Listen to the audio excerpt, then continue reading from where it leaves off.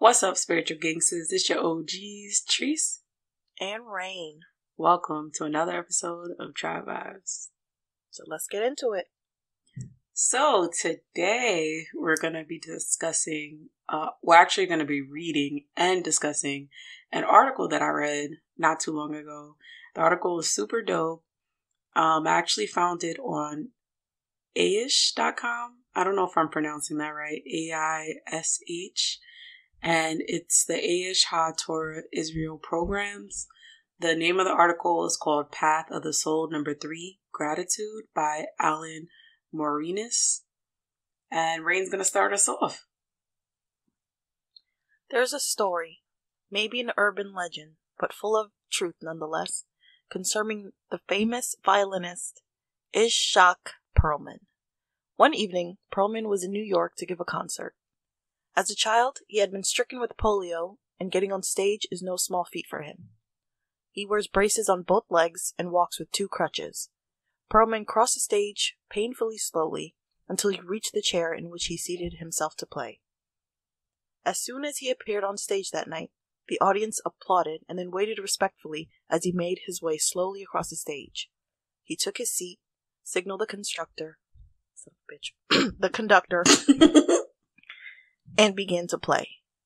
No Son of a bitch, finished- I omit was not a part of the article. I just had to put that out there. We know.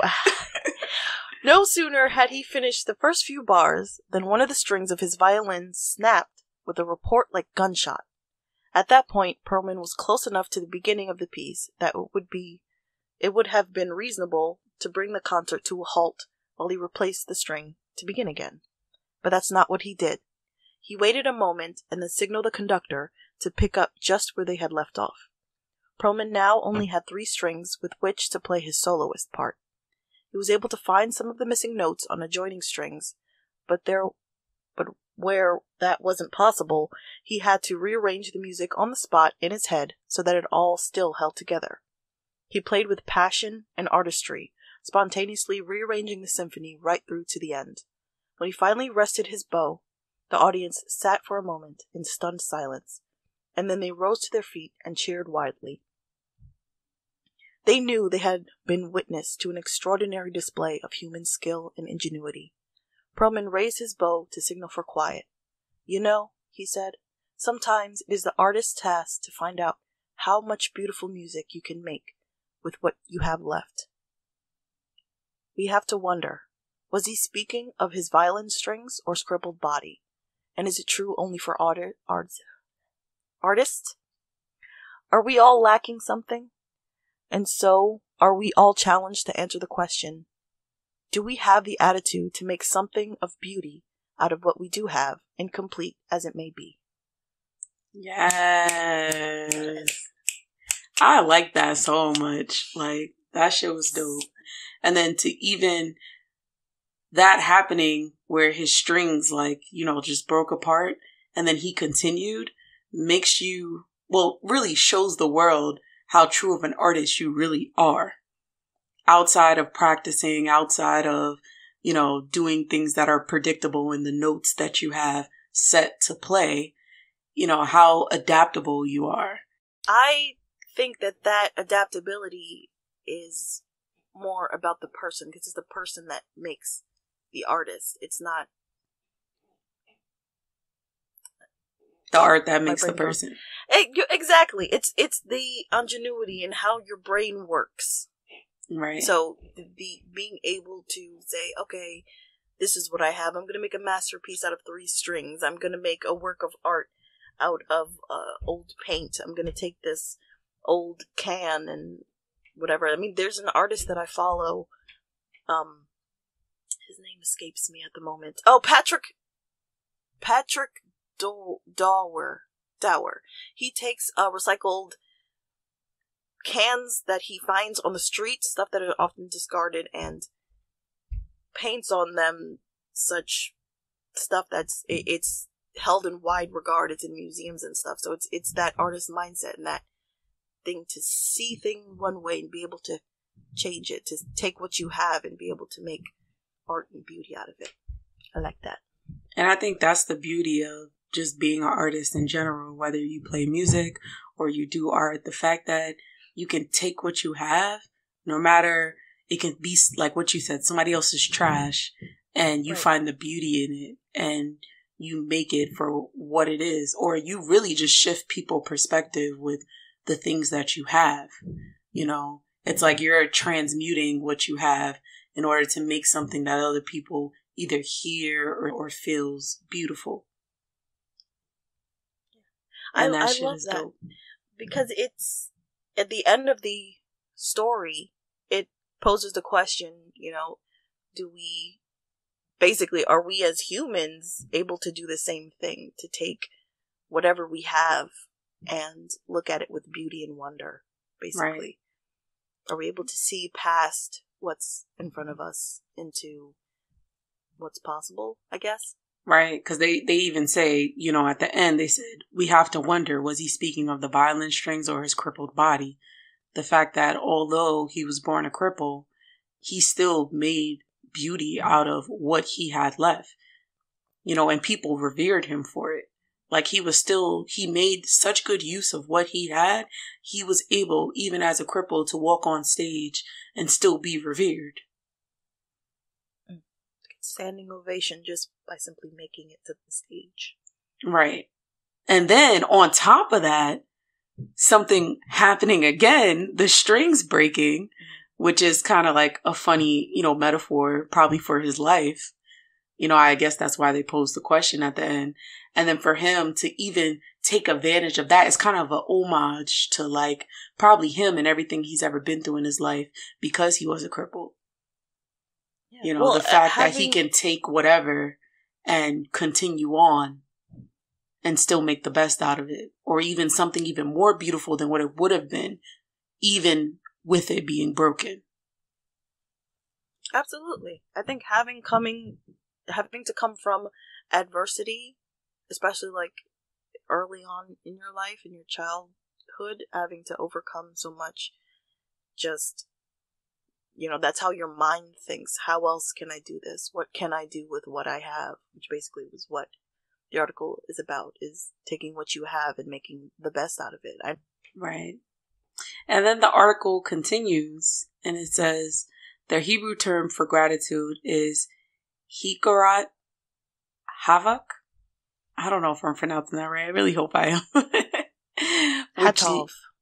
Hatov? Yeah. Which literally means recognizing the good. Practicing gratitude means recognizing the good that is already yours. If you lost your job, but you still have your family and health, and you have something to be grateful for. If you can't move around except in a wheelchair, but your mind is as sharp as ever, you have something to be grateful for if you have a broken string on your violin and you still have three more, you have something to be grateful for. Mm-hmm.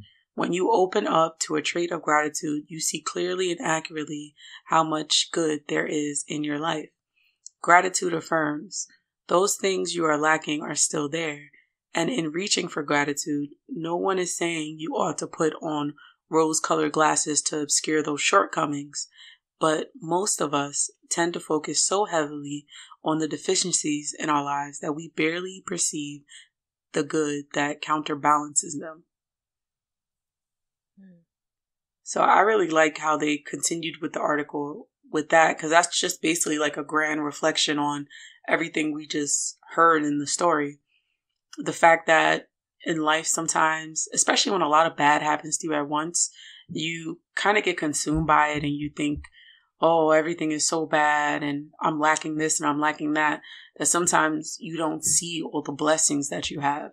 And sometimes it's just a little shift in your perspective, not saying you have to ignore all the bad, but just shifting your perspective to think more on the good that is happening in your life can help give you the tools to not only move on and make the most out of everything, but make it even better and take those adversities that you have in life and make it even better than what it would have been before, you know.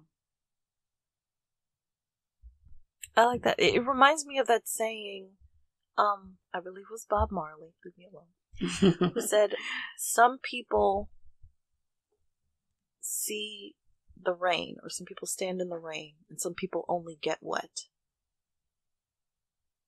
There's, there's people who view the exactly. There's people who view the situation for what it is: the rain, water from the sky. It's replenishing the earth. It's cooling the earth. It's you know what I mean. Refilling up the lakes, all that stuff, and then there's people who just see the inconvenience of it. So right. it's looking at the situation and counting your blessings, which is um on the on the full article. That's something that they they mention that they do in the Jewish practice that they recite a hundred such blessings a day. And wow. I guess that where it stems from, like literally count your blessings, because when you focus on, as you were saying, when it, a lot of bad stuff happens, but if that's all that you see and that's all that you look towards, that's all you're going to notice because that's where your attention is. But if you look at what you do have in a situation, yeah, my string popped, but you know what? I got three more, and I'm gonna bring this house down. They're going. I'm gonna have some ass shakings tonight. you know what I mean? With these three strings, it's my shit gonna be popping nonetheless. Popping. Yeah, that's true. And I think the violin was just such a great example. Yes, my string popped, yes, I can dwell over the fact that I lost the string, but I have mm-hmm. three more strings in which I can play so many notes. Exactly. Because uh, and honestly, just period, him having to learn the violin because I took a that class in elementary school. We all did fourth grade. Um, that's a lot of patience for and for you to be at the point that you're a concert right. uh, violinist where you walk you on stage and people clapping and standing up just for you existing. That took a lot of work, a lot of hard work, and overcoming whatever physical disablements you may have just to get to that point. So the fact that you look at those three strings and then you remember all your hard work and your training and it worked in your favor, everything that you went through, because it's like, I know what I could do with these. I can. Right. You got to be a boss too you know, and I think a part of being a boss, everybody want to act like they're a boss ass bitch.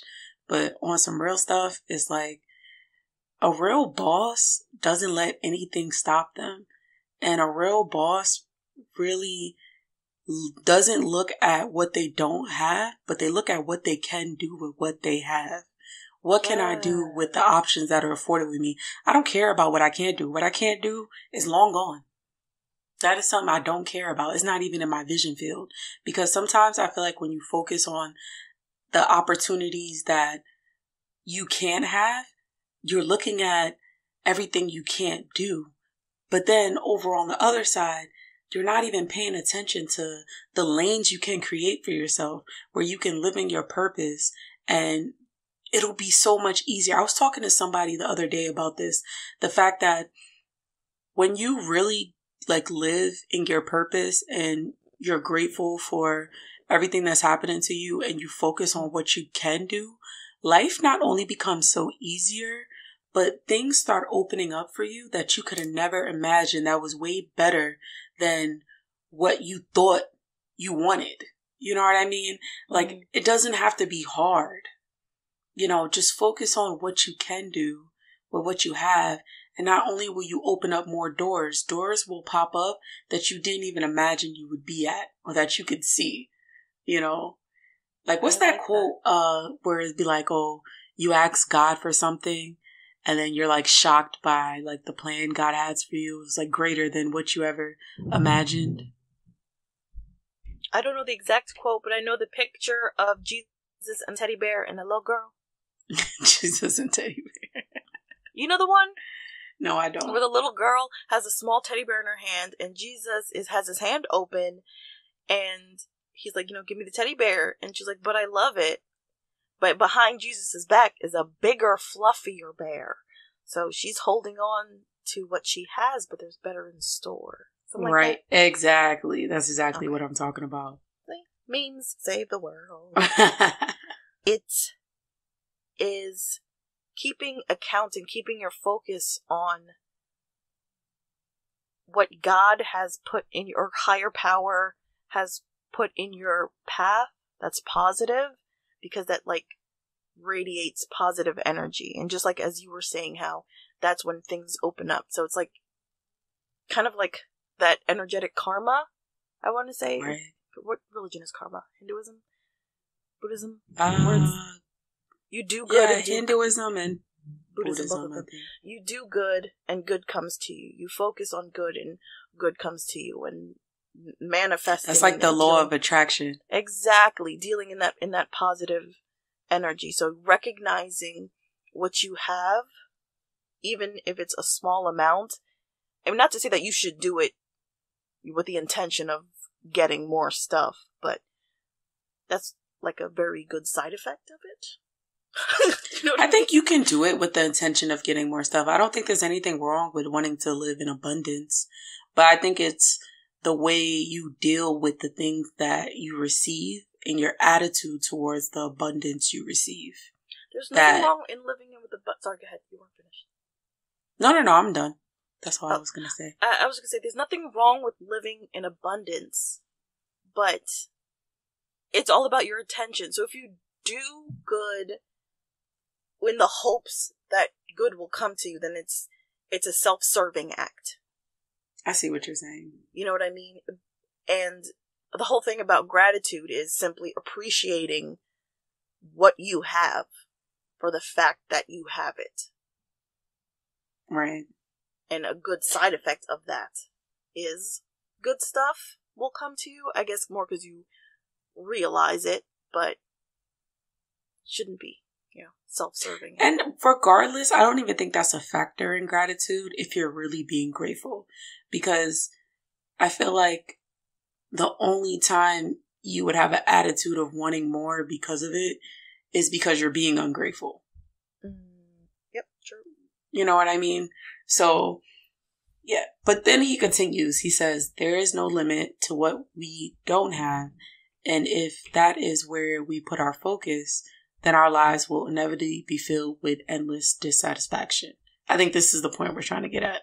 Mm, This is the ethos that lies behind the great biblical proverb Who is rich? Those who rejoice in their own lot. mm, And I think that goes back to saying, like, you know, I, you, they show this a lot in like movies and people talk about it, like, you know, in a lot of like life lessons and stuff. But, Mhm.